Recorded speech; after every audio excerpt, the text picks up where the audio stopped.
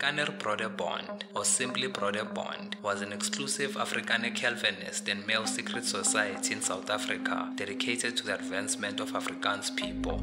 It was founded by H.J. Klopper, H.W. van der Merwe, D.H.C. du Plessis, and Rev. Jozua Naudé on 5 June 1918 as Jong Zuid Afrika, Dutch for Young South Africa, until 1920 when it was renamed the Broederbond.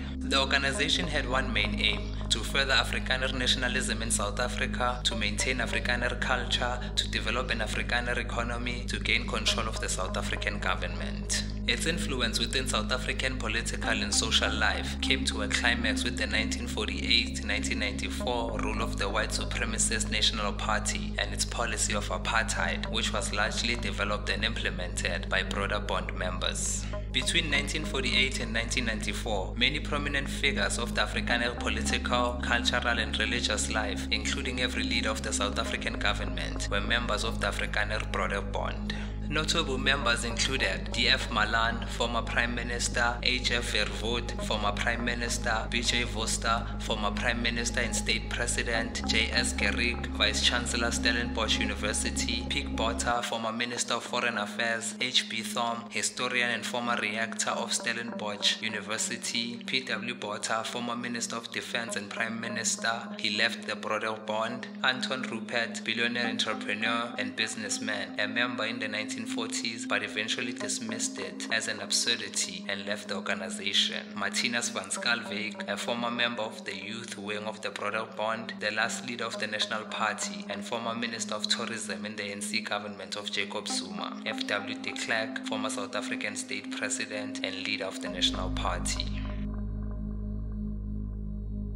Described later as an inner sanctum, an immense informal network of influence, and by Jan Smuts as a dangerous, cunning political fascist organization. Made up of a group of 37 white men of Afrikaner ethnicity, Afrikaans language, and Calvinist faith who shared cultural, semi-religious, and deeply political objectives based on tradition and experiences dating back to the arrival of Dutch white settlers, French Huguenots, and German settlers at the Cape in the 17th and 18th centuries, and including the dramatic events of the Great Trek in the 1830s and 1840s. Ivor Wilkins and Hans Strydom recount how, on the occasion of its 50th anniversary, a leading brother or member said, For understandable reasons, it was difficult to explain our aim. In the beginning, people were allowed in who thought it was just another cultural society. The precise intentions of the founders are not clear. Some considered that the group was intended to counter the dominance of the British Empire and the English language, whilst others considered that the purpose was to redeem the Afrikaners after their defeat in the Second Anglo-Boer War.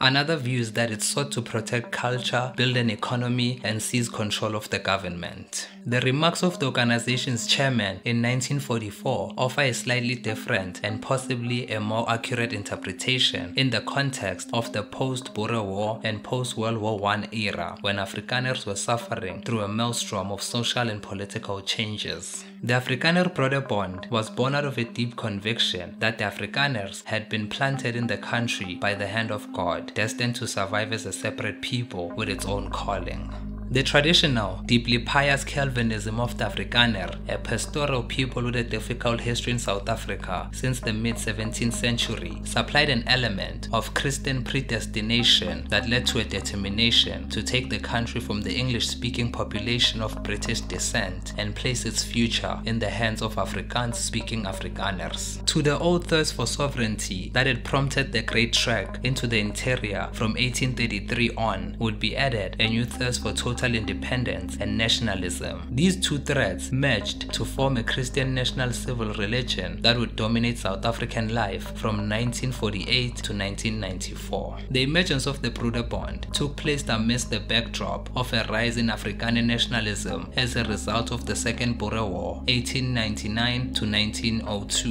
which saw the British annex the South African Republic and the Orange Free State. During the conflict, the British deployed scorched earth tactics against the Afrikaner, destroying Boer farms and interning captured Boer non-combatants in concentration camps where roughly 27,000 Boers died. The war was brought to an end by the Treaty of Vereeniging, which though generous in its terms, was seen by the Afrikaners as deeply humiliating. The policies of British Administrator Lord Milner was also a major source of resentment amongst the Afrikaners. These developments led to an increase in nationalistic sentiments amongst Afrikaners, leading to the formation of the Broederbond and the National Party. The National Party had been established in 1914 by Afrikaner nationalists. They first came to power in 1924. Ten years later, its leader, J.B.M. Hertzog and Jan Smuts of the South African Party merged their parties to form the United Party. This angered a contingent of hardline nationalists under D.F. Malan, who broke away to form the Purified National Party. By the time World War II broke out, resentment towards the British had not subsided. Malan's party opposed South Africa's entry into the war on the side of the British. Some of its members wanted to support Nazi Germany.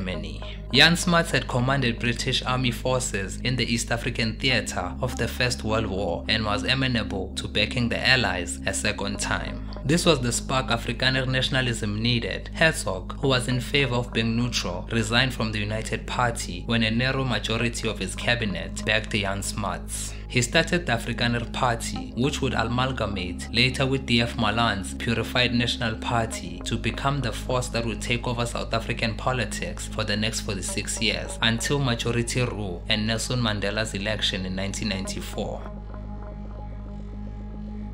Every prime minister and state president in South Africa from 1948 to the end of apartheid in 1994 was a member of the Afrikaner Broederbond. Once the National Party was in power, English-speaking bureaucrats, soldiers and state employees were sidelined by reliable Afrikaners with key points going to Broederbond members with their ideological commitment to separatism. The electoral system itself was manipulated to reduce the impact of immigrant English speakers and eliminate that of Africans. The National Party was the product of the reunion of the Purified National Party and the United Party in 1940. The Afrikaner Broederbond continued to act in secret, infiltrating and gaining control of a few organizations such as the South African Agricultural Union, which had political power and were opposed to a further escalation of apartheid policies. Members of political parties, right of the National Party, were not welcome and 200 members were expelled by 1972 two.